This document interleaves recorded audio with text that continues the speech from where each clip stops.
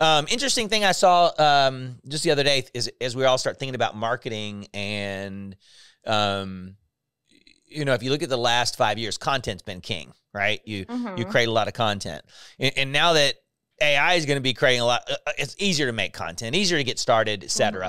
Uh, I think there's going to be an explosion of content, written content. So so Yes. priorities are probably going to go to video. You, know, the things that that Google will tune in to probably look more to is video content, uh, interactive content, surveys, things like that.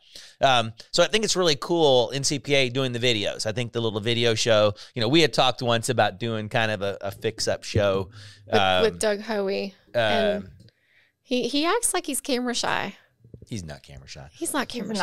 Not. So what's No. next? Yeah, so we're looking to do more episodes of this. This was our vaccine episodes uh, series, if you will, but we're looking to kind of use this model to talk about, you know, any type of practice transformation that needs to happen. So we might do a series on like adherence and med sync Mhm. or other types of issues around um, you know just general chronic disease management basically Mhm. anything that can be shown and interacted with but taking pharmacies from where they are now in this dispensing only kind of model and really showing them how to implement these services and what it takes to to really go beyond and expand and hmm and be profitable while taking care of their patients So, are you- when you're picking your guests, are you being very? Are you picking like?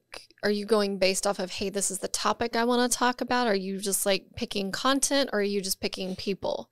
It's And a combination of all three, actually. So the initial, um, the initial episodes, we put out a call to say like, "Hey, we're looking to do this series on improving vaccination programs or starting vaccination programs. Who wants help? like, what and what do you want help with?"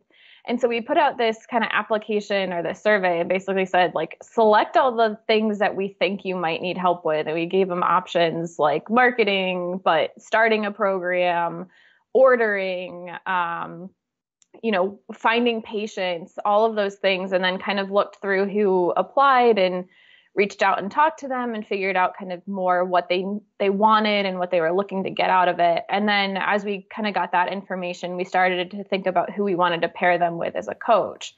So Mm. Tana and Merity were really great because they they had the pharmacist technician duo and they were really helpful to be able to say here are these cool things that I do as a pharmacist but also here are the things that I do as a technician and how we can bring that all together and then you know Nicolette coming up with the marketing episode Mhm. and all of Mhm. her wisdom that she could share even someone like a Tim Mitchell who's doing amazing and great things was still able to learn a lot and you'll see that he really taps into his his younger staff to get some of that training too.